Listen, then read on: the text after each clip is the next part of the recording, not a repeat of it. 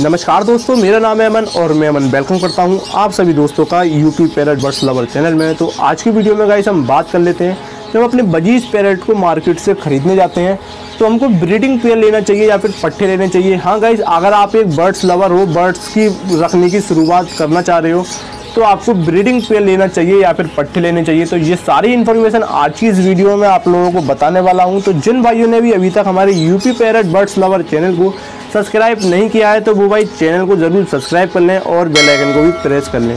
चलिए guys video को शुरू करते हैं। सबसे पहली बात गाइस हम आप लोगों को बताते हैं ब्रीडिंग पेयर के बारे में बात कर लेते हैं गाइस ब्रीडिंग पेयर को जब हम परचेज करने जाते हैं तो हमको किन किन नुकसानों को झेलना पड़ सकता है या फिर किन किन कमियों के साथ में आपके पास ब्रीडिंग पेयर आएगा। सबसे पहली कमी गाइस ब्रीडिंग पेयर में ये होती है कि ब्रीडर पेयर जो है काफ़ी ज़्यादा एजिट मिलता है। और गाइस वो एजिट इतना होता है कि आप लोग उससे ब्रीड ले ही नहीं सकते। वो कैसे गाइस वो अंडे देना ही बंद कर देता है और गाइस ब्रीडर जो है उस पेयर को सेल कर देता है। दूसरी कमी ये है गाइस कि मान लीजिए आपके पेयर ने अंडे तो दे दिए, लेकिन बच्चे नहीं निकाले। यानी कि आपके पेयर ने आपने एक ब्रीडिंग पेयर ऐसा परचेज कर लिया, वो आपके यहाँ पर अंडे तो दे रहा है, बच्चे नहीं निकाल रहा, यानी कि अनफर्टाइल अंडे दे रहा है। तो गाइस काफ़ी ज़्यादा एजिड पेयर हो जाता है तो ये भी कमी पेयर के अंदर देखने को मिलती है कि वो अनफर्टाइल अंडे देने की शुरुआत कर देता है। अब गाइज़ बात कर लेते हैं तीसरी कमी की। तीसरी कमी गाइज़ ये होती है पेयर के अंदर कि पेयर अंडे भी दे देता है और बच्चे भी निकाल देता है। तो गाइज़ काफ़ी पेयर ऐसे हो जाते हैं कि वो अपने बच्चों को खुद ब खुद ही मार देता है।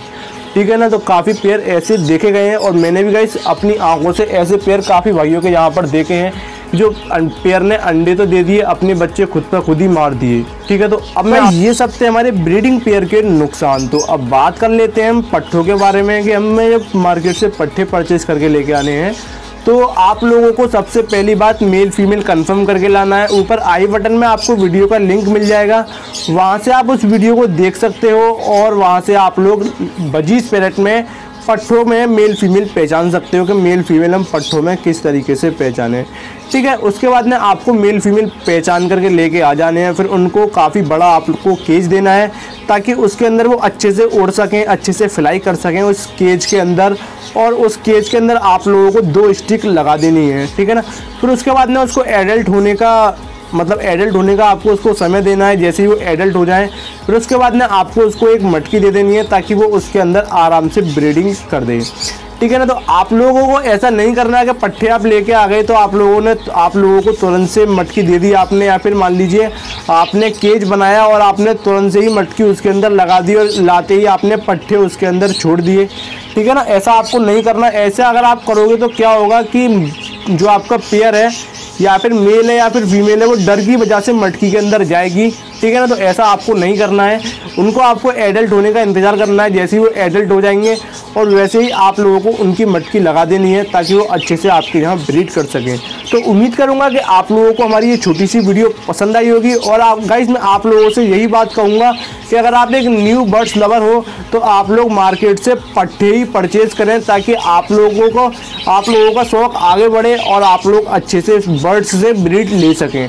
ठीक है ना गाइज़ तो ब्रीडिंग पेयर की सारी कमियाँ मैंने आप लोगों को बता दी। तो गाइज़ पट्टे आप लोगों को परचेज़ करने हैं, उसके बाद में आप लोगों को यहाँ पर अच्छे से ब्रीडिंग हो जाएगी।